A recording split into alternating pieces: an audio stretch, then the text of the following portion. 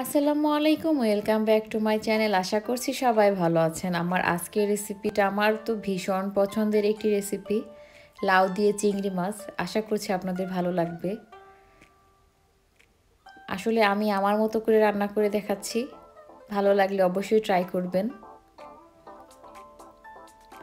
এখন আমি আসলে চলে যাচ্ছি রান্নাতে। রান্না করার জন্য একটা হাঁড়ি বসিয়ে দিয়েছি চুলার মধ্যে। আর আমি রেগুলার সব রান্নাতে যেগুলাতে সরিষার তেল ব্যবহার করা যায়, সেগুলোতে সরিষার তেলটাই ব্যবহার করার চেষ্টা করি।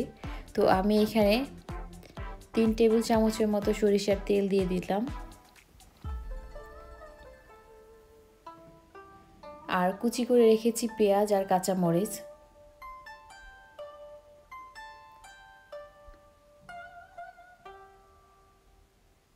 পেঁয়াজ কাঁচা মরিচটা খুব ভালোভাবে আমি ভেজে নেব।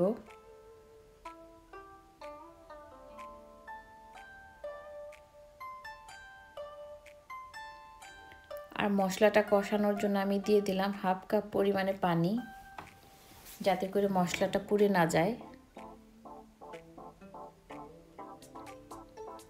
আমি এক এক চা চামচ পরিমাণে ধনে গুঁড়া দিয়ে দিলাম। দিয়ে দিচ্ছি হাফ চা চামচ পরিমাণে হলুদের গুঁড়া।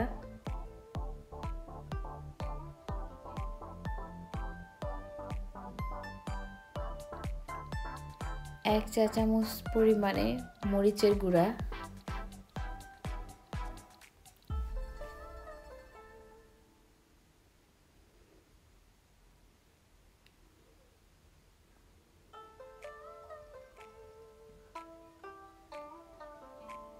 এই পর্যায়ে খুব ভালোভাবে মশলাটা কষিয়ে নিচ্ছি। আসলে লাউ চিংড়িটা যে কোনো সাইজের চিংড়ি দিয়ে করা যেতে পারে। তো আমি এখানে খুব ছোট ছোট সাইজের চিংড়ি দিয়ে লাউ চিংড়িটা করছি।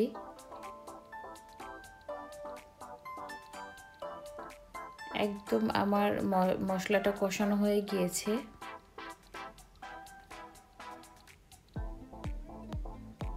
চিংড়ি মাছটা আসলে পরিমাপটা নিজের নিজের মতো করে নিয়ে নিতে পারেন। তো এখানে আমি হাফ কাপের থেকে একটু বেশি চিংড়ি নিয়েছি।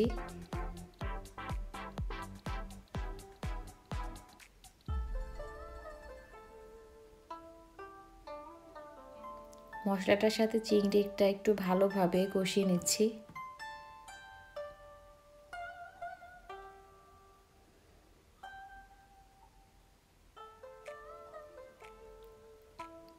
এখন সেই কাটা লাউটা আমি দিয়ে দিচ্ছি।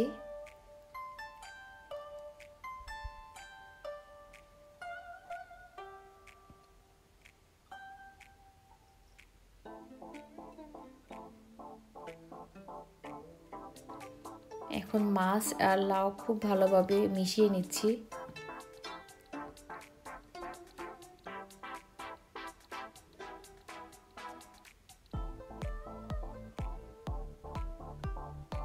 এই পর্যায়ে দিয়ে দিলাম একটু জিরা গুঁড়া হাফ চা চামচ পরিমাণে।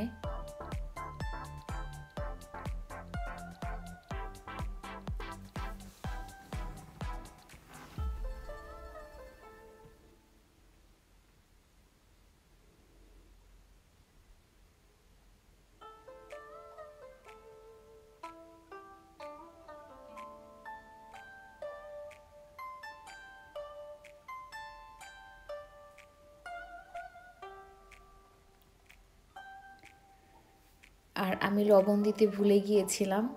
তো এখন সেই লবণটা দিয়ে দিচ্ছি, আমি আমার আন্দাজ মতো দিয়ে দিচ্ছি।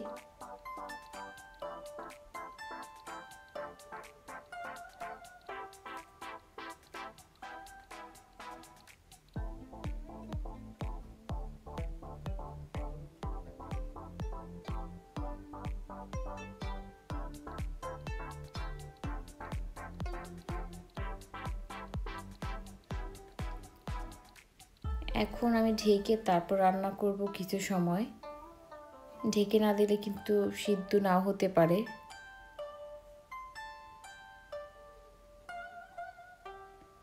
আসলে বাজারের কেনা লাউ খুব সহজে সিদ্ধ হতে চায় না, আর গাছের লাউ হলে খুব তাড়াতাড়ি সিদ্ধ হয়ে যায়, এমনকি কোনো এক্সট্রা পানি দেওয়ারও কোনো প্রয়োজন হয় না।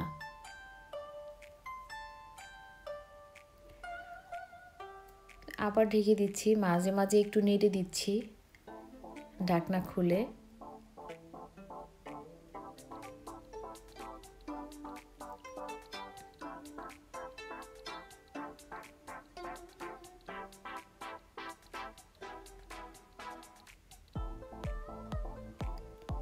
লাউ থেকে অনেকটা পানি উঠে এসেছে।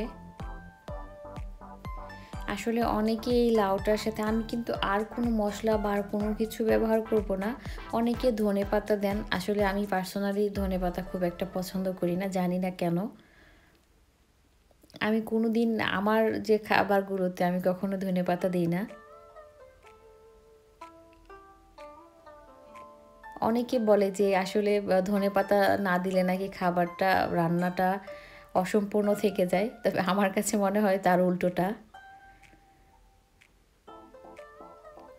এখন আমি এক কাপ পরিমাণে পানি ব্যবহার করছি। আসলে এটা লাউটা অতটা কচি ছিল না সেই জন্যে। আর খুব কচি থাকলে কিন্তু এমনিতেই পানি উঠে আসে।